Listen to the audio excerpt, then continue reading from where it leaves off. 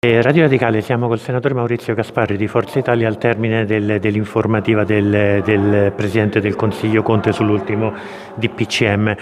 Allora, oggi dall'intervento di Marcucci mi sembra sia spuntata anche la richiesta di una, di una verifica che dovrebbe promuovere eh, Conte. Allora, eh, che cosa sta succedendo? Ma mi pare una semicrisi di governo, perché questo è un paese semiserio, anche in una tragedia vera.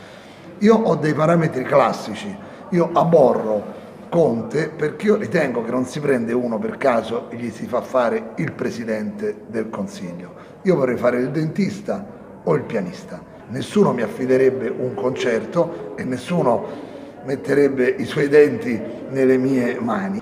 Quindi la situazione è seria perché un paese in un momento così drammatico, avere non è solo il problema della Azzolina che, che insomma sembra l'imitazione dell'imitazione dell'imitazione della Guzzanti. Il problema è che nel frattempo oggi avremo gli altri contagi, i decessi, le questioni delle terapie intensive, però poi De Luca farà un appello contro Halloween, Emiliano dirà che bloccheremo l'Albania. Quindi la situazione è seria. Si era parlato di un governo, in questi giorni di un governo di unità nazionale, di un governissimo, lei pensa che sia la strada sbagliata? Gli interventi sono stati chiari, sia degli altri esponenti del centrodestra, sia della senatrice Bernini, nostro capogruppo, non vogliamo posti, non vogliamo poltrone. Io poi le dico personalmente, io non starei mai, no in un governo, nemmeno in ascensore con i grillini.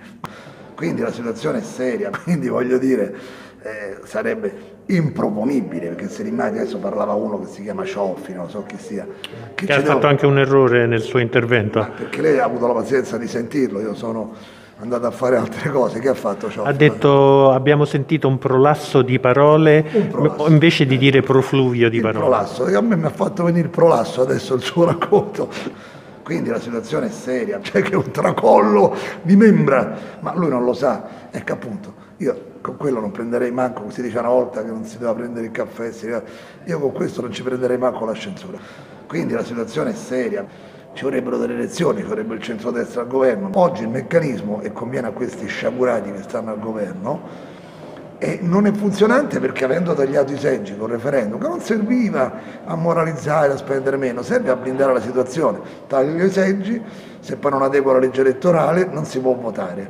Quando faccio l'adeguamento della legge elettorale, ma come? C'è un'emergenza virus, parliamo della legge elettorale, no?